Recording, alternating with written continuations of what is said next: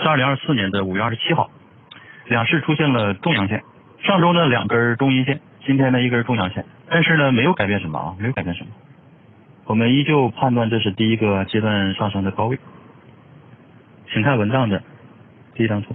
呃，首先呢这根中阳线呢，就是这个下跌呢它没有收复一半啊，没有收复一半，所以呢它改变不了什么，只有那种它能够改变结构的。它上升后面的上升可能会导致钝化消失的，才会改变第一个阶段的高位的判断。目前来讲呢，应该不会。首先呢，这个地方全是绿角线啊，这个地方全是绿角线。然后呢，这儿呢全是红角线。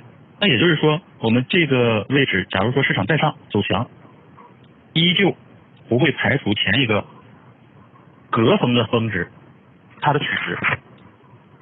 只要这个取值进去，日线的钝化就会存在，并且级别是大级别的。所以它对结构没有太大的改变，也就是说，如果向上运行啊，市场创新高，向上运行，日线的顶部还是大级别的钝化，并且空间超过三千两百点，我们还是要继续减仓的。那么前一天我们也说了啊，我们留了两层仓，如果后面在三千两百点之上形成顶部的结构，我们再减两层仓。但目前来看呢，这种概率不大啊。也就是说，五月二十号形成第一个阶段的最高点，这个判断的概率是大概率。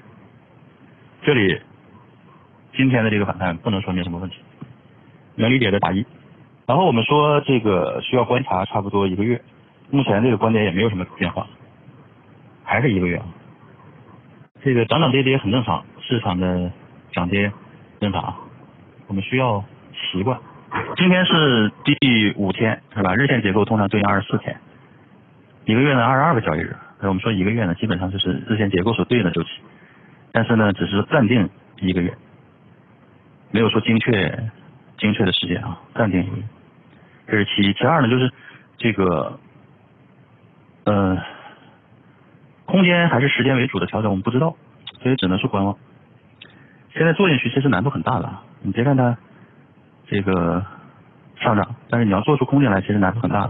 近期还是以观望为主，多看少动，尽量少操作，观望为主，好吧？并且近期都这个观点，近期不会有太大的改变，近期不会有太大的改变。一百二十分钟也是啊，我们看一百二十分钟，一百二十分钟呢，如果市场再上呢，会有一个一百二十分钟的顶部的分化，所以这个地方就是再上的话，无非就是还是一个高点，它跟最高点之间相差也不太大，它不会。把高点的问题解决掉，它不会啊，它仍然是高点。所以在这个位置上呢，我们主要还是判断第一个阶段的高位。再向上的话呢，超过了三千两百点，我们就再减两层仓。那如果不向上呢，破长期趋势的时候，我们可能也会再减两层仓。这个将来再说，现在呢还没有定论，好吧，还没有定论，我们就保持着近期的对于市场的观望标准。整体策略就是多看少动，观望为主，好吧？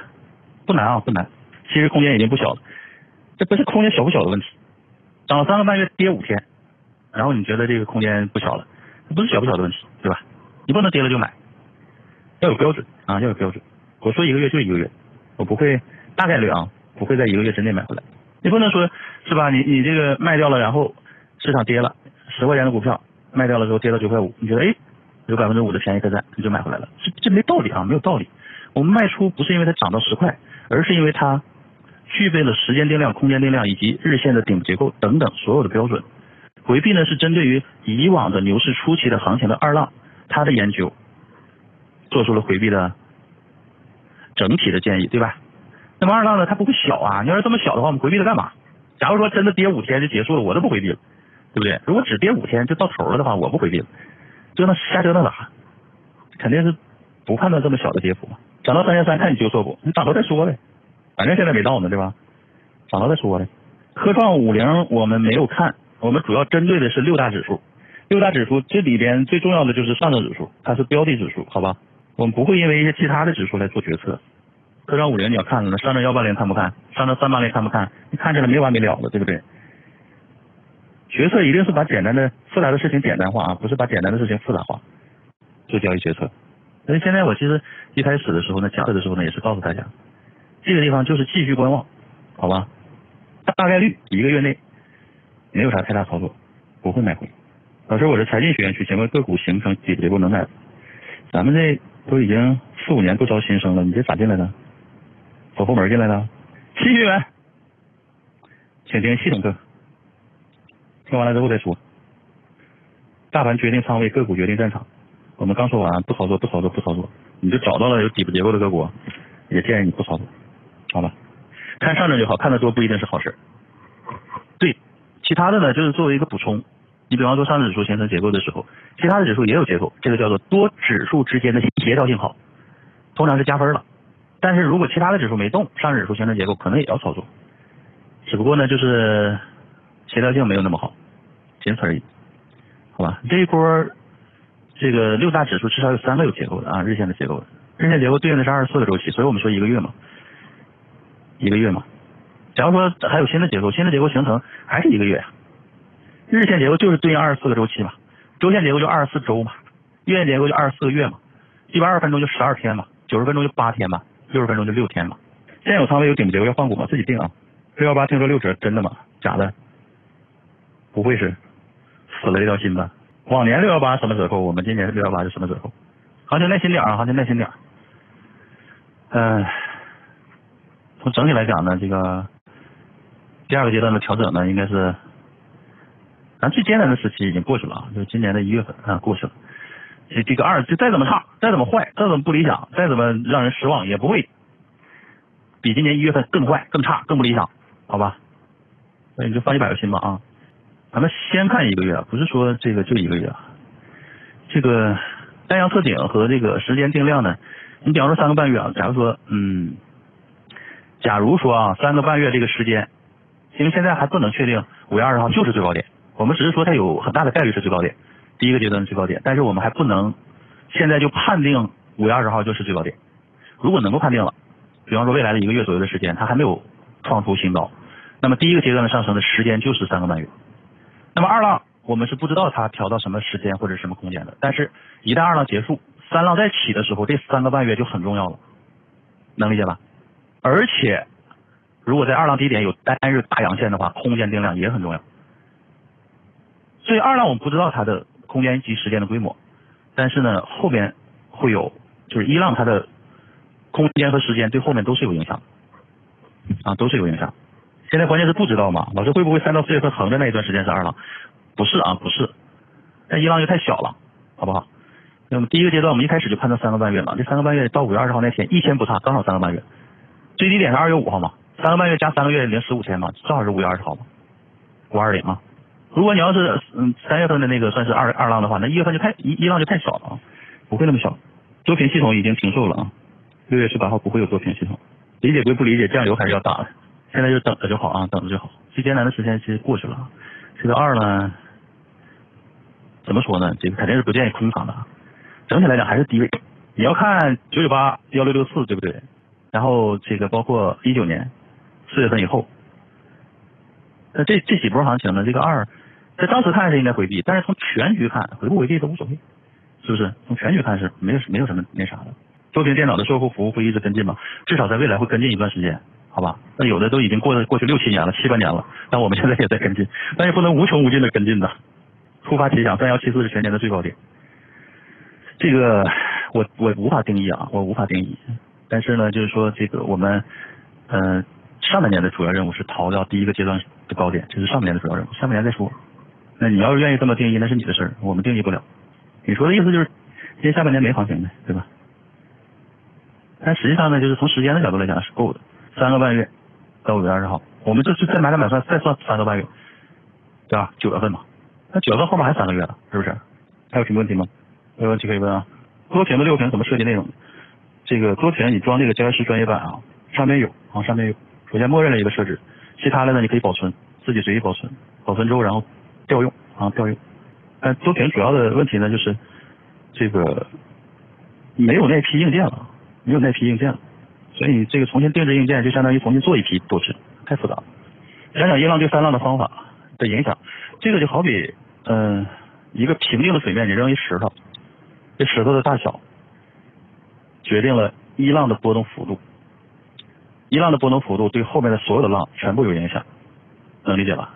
因此呢，就是说我们在系统课里讲的这个时间的间接对称，就上升跟上升是有对称的。比方说三个半月，那么第二波二浪走多少我们不知道，有可能是两个月，有可能是一个月，有可能是七个月，我们不知道。但是再往上走，第一波的三个半月会对第三、第二波的上升，就是三浪上升，起到一定的作用，好吧？这就是间接对称嘛，间接对称的核心思想嘛。我们系统课里有讲啊，关于间接对称。我们文字课里头有客服啊，你直接找客服就行了。关于多屏什么客服，这个这个服务电话的这个问题啊，直接找客服就行了，会有专门人给你解解解决的啊。耐心一点啊，耐心一点。近期反正就是观望为主啊，观望为主，好吧。二浪的难度，抄底的难度要比一浪的逃顶难度大。再说一遍啊，要比一浪的逃顶难度大。一浪的逃顶呢，毕竟是这个范围，我们就给就给就给放在这儿了。时间三个半月，空间三千两百点，日线顶部结构，你说这都出现了，你说这有啥难度？你们告诉我有啥难度？啊？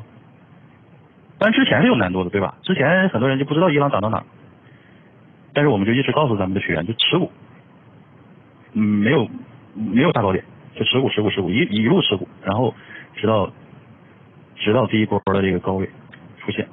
但是二浪呢就不好说了，二浪，但是这个我们先有一个这个逻辑呢，就是我们先看一个月。一个月之后再说啊，一个月之后再说。呃，这一个月还要观察它是不是 N 字转向，就是三浪里的 A D C 走势啊，要看这个。还是希望五二零是一浪高点，调整五天了，还差二十五天，送你一朵小红花，我把你的小红花给你收回来。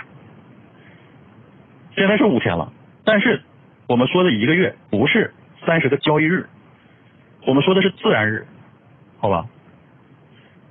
刚才我们说了啊，日线结构对应的是二十四个交易日，它不是自然日。给你朵小红花，小红花收回。三个半月是自然月，好不容易得一个小红花还要收回，这这这个混乱嘛？他说的五个是交易日，然后说什么后面还有二十五个，那不就变成三十个交易日了？等着吧啊，等着吧。君子不立危墙之下，这个地方呢，这个反正从以往的二二浪的角度来讲呢，这个深度是有的。以往啊，以往行情的二来讲，深度是有的。没有深度的话，我们就不回避了。今天不补课，今天准备不欠课呀。上次就直接就给那什么了，就给补完了。但是其实今天的课呢，它的核心思想是什么？就这个地方如果再上的话，还是一个顶结构，它不它不解决这个第一个阶段高点高位，不解决这个问题。再上还是高位，不上呢高位已经形成，所以呢与交易决策上不会有太大的影响。然后我们之前说，我们说这个如果再上三千两百点以上形成结构的话，我们会再减两层仓。如果不上的话呢，这两层仓就破趋势再减，对吧？